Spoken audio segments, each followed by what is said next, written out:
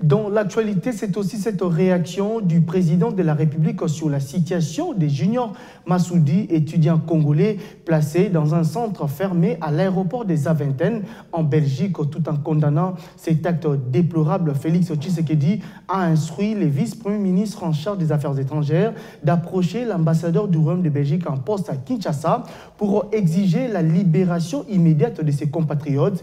Information livrée par les chefs de l'État dans sa communication vendredi lors du Conseil des ministres qu'il a présidé. Le point avec Patrick Mouyaya, porte-parole du gouvernement congolais.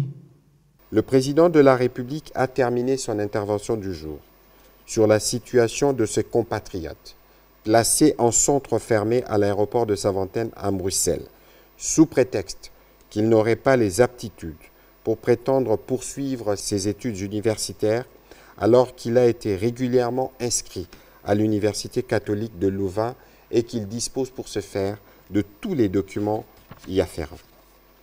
Il a fermement condamné cet acte déplorable et il a de ce fait instruit le vice-premier ministre, ministre des Affaires étrangères, d'approcher l'ambassadeur du Royaume des Belgiques, en crédité en République démocratique du Congo, pour lui exprimer la totale désapprobation de cet acte et exiger la libération immédiate de M. Jérôme Massoudi Ouasso.